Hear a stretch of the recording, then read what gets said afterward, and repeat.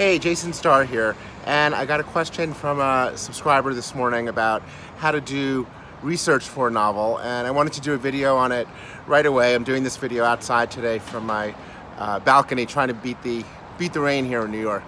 So here's the thing about research. Um, I think everyone has their own technique for how they do research, and a lot of it has to do with the type of book you're writing.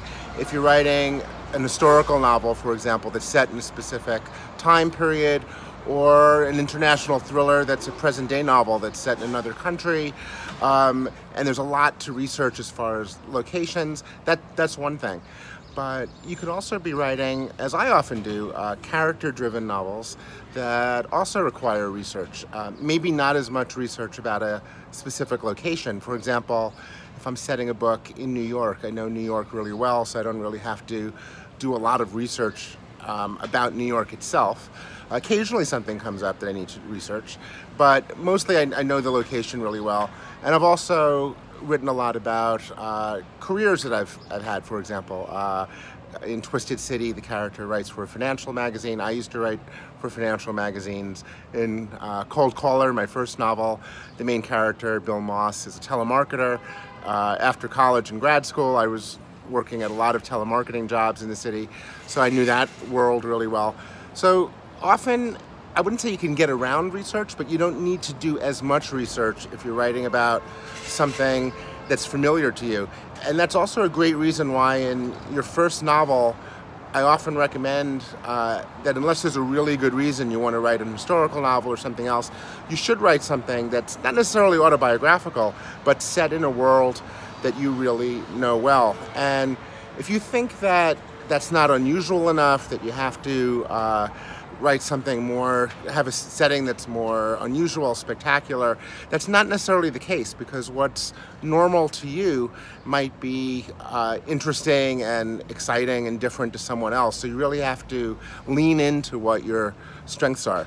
Okay, so, but when you start writing, uh, your novel, you're going to get to a point where you need to do some research. Um, and my big advice on this is, and some writers will disagree, but my big advice is to not stop your momentum of writing to go do research. And I'll give you an example. In uh, a project I'm working on right now, there's a scene that takes place at a railroad crossing in a, in a city that I'm not all that familiar with. And I could stop writing at that point and go to Google or take a trip, visit that spot, get to know it really well.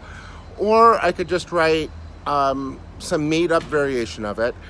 Right, I, I, usually give a notation to myself like TK, TK. It's a magazine terminology uh, for something that you're going to research or insert later on.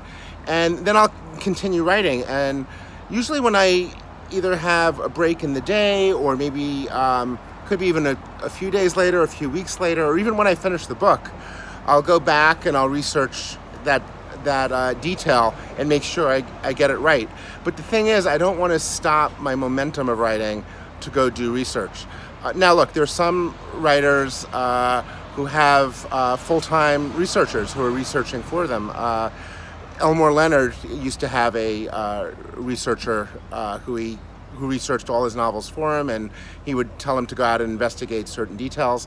Uh, if you can't afford to do that, or it's not part of your process to have someone else do the research for you, I, I really recommend doing it, trying it the way I do, not, not stopping your momentum, because I think it's more important to stick to your word count for that day and stick to your routine. Because if you go off and you start doing research online, you could go down a rabbit hole. You're on Google, suddenly you're checking your Facebook, you're on Twitter, and you're not getting any work done for the day. So I like to do the research either later on or even uh, for the big for the big topics when I when I finish the book.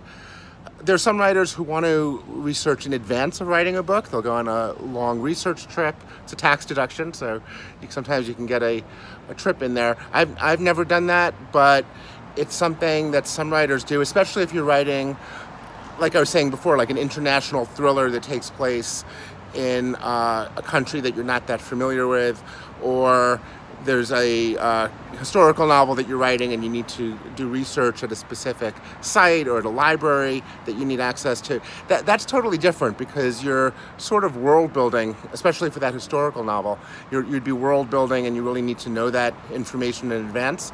But if you're writing a, a character driven novel and you just have some details that you need to research, I just would not stop the momentum of writing. I would just put that off until you uh, finish the book or till another day and see how that works for you. Again, this is Jason Starr. Please like the video, subscribe, and I have some links to my books below. You could support me by buying one of my books. Uh, check out Panic Attack. That's a good one to start with. Thank you.